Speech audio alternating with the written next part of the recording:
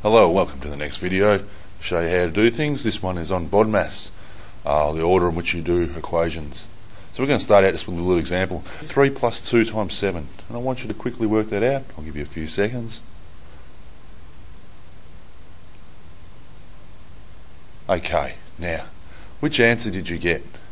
Did you get the answer of 35 or perhaps 17?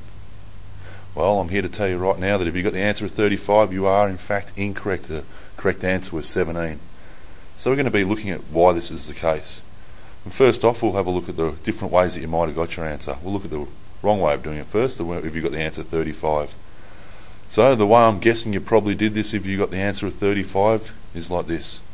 First you went 3 plus 2, and you got 5, and that left you with 5 times 7, and then 5 times 7 gave you the answer of 35.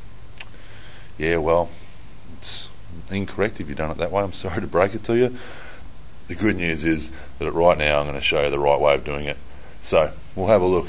Now, if you got the answer of 17, this is probably the way you would have done it, and this would have been the right way of doing it. First off, you would have gone 2 times 7. 2 times 7 gives you 14. This leaves you with 3 plus 14. 3 plus 14 gives you 17. And 17, like I said, is the right answer. Now, the reason one of these is right and one of these is wrong is because in maths there's a particular way that you have to do equations, a particular order, and this, as you can see, and as you have seen, affects your answer. Okay, this can be easily remembered, you'll probably remember this from high school, is the idea of BODMAS, or possibly BOMDAS. What this means is this is the order in which you do an equation. First off, you do anything with brackets. The next thing you do is anything which is orders. This means things like squared, cubed, or even the square root. The next things you do are any division, multiplication, and you just do these left to right, like you're reading a sentence. The next thing you do is any addition or subtraction, again left to right. So we'll use this to answer a few questions and to get the right answers.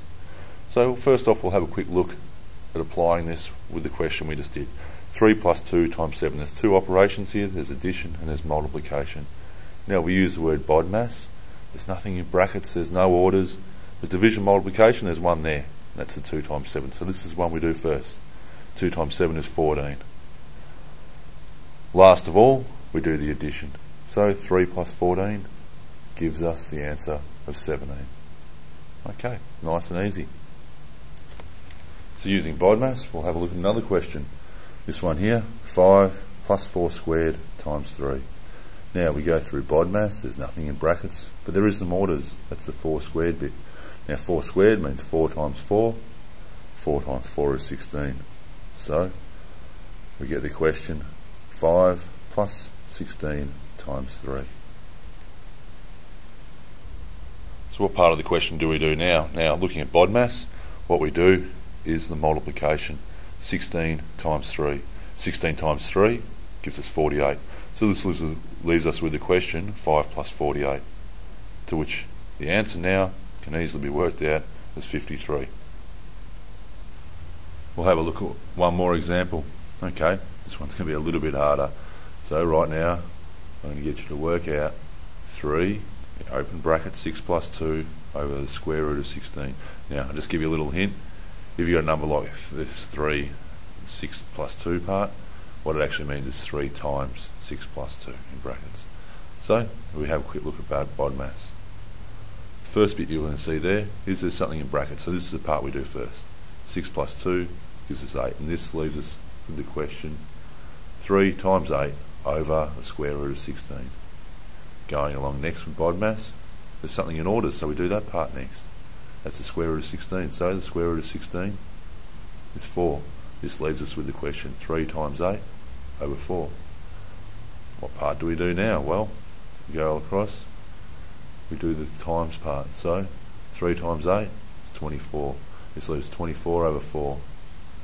And then 24 over 4 gives us the answer of 6.